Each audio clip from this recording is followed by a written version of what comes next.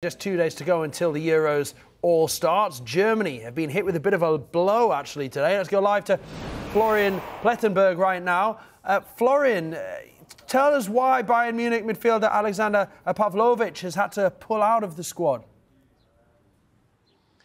Yeah, he was on the squad against uh, Greece on Friday, and then uh, Julian Nagelsmann has given them two days free. And in this time, yeah, he has received a, an illness, an infection again. He had the same problem in March when the German national team played against France and against the Netherlands. And um, now he was not part of the squad in the recent or in the last days. And now Julian Nagelsmann, he has decided and he has spoken to Pavlovic not to be part of the Euros. He's not.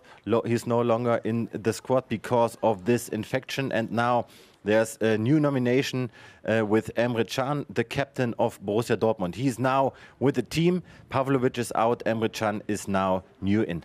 Yes, Emre Can added. Uh, now, but Florian Wirtz and Jamal Musiala have been speaking at the news conference today. I believe they were talking about playing together at some stage in their career. Is that right? Yeah, it was uh, very funny. We have to say, uh, our our big jewels, our big diamonds, uh, superstars. They have the potential to be the superstars of the of the Euros, and uh, they were asked about the possible future together in a club. And Florian Wirtz, the superstar from uh, Bayer 04 Leverkusen, he said, "Why not?" And I have to be honest. Uh, we are joking about the possibility to play for a team one day together because we have a good connection on the pitch.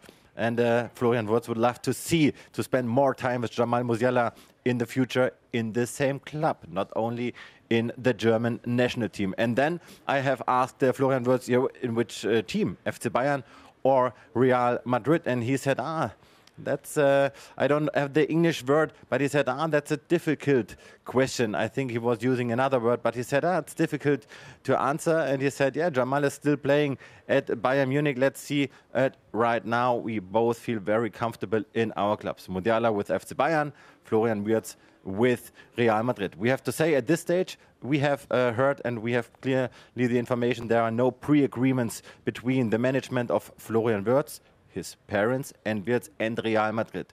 No pre-signings, no agreements about a possible transfer in 2025, but he's on the list of Real Madrid, of Manchester City, of Bayern Munich. But the question is, who can pay the price? The demand is around 130, 130 million euro for a transfer of Florian Wirtz next summer, and uh, that makes the chances very slim for FC Bayern Munich in summer 2025. Uh, okay, interesting. Well, oh, talking of moving clubs and transfers, let me ask you about a few names. Benjamin Sesko, he's been linked with a move to the Premier League, but new contract for him sounds like he's not going anywhere.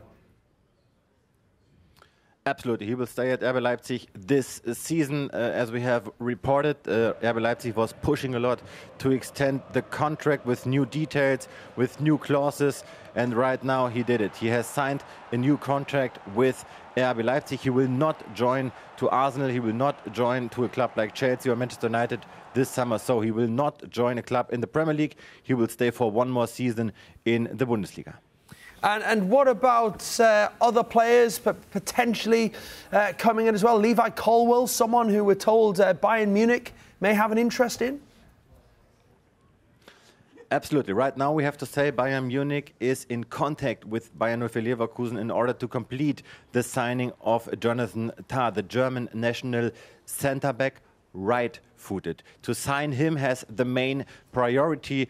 Uh, to our understanding, Bayern is willing to pay around 20 until 25 million euro for a transfer right now, with one year left on Jonathan Tah's contract situation. Leverkusen at this stage they demand around 40 until 45 million euro for a transfer from Tah to Bayern. Now we have to say Pini Zahavi, the agent of Jonathan Tah, he knows how to bring players from A to B.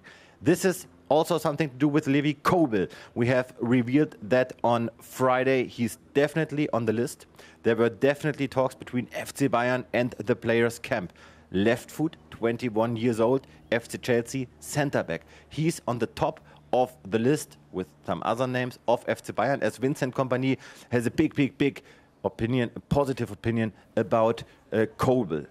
And we got the information today FC Bayern remain in contact with the players' camp because there's no agreement at this stage between Bayern and Leverkusen because of Tah. And I cannot exclude that Bayern will push for Colwill in addition to Jonathan Tah. Now we have to look on the situation of Matthijs de Ligt, the centre back. We have revealed that as well. He can leave FC Bayern this summer with a suitable offer. He has a contract, but Bayern is ready to listen for offers. And uh, I can really imagine, I can really imagine that Manchester United with Erik Ten Hag will keep an eye on the situation of Matthijs de in summer.